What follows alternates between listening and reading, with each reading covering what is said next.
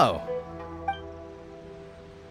I want to see your performance again too, but the Tenryou Commission has ordered us to put everything on hold.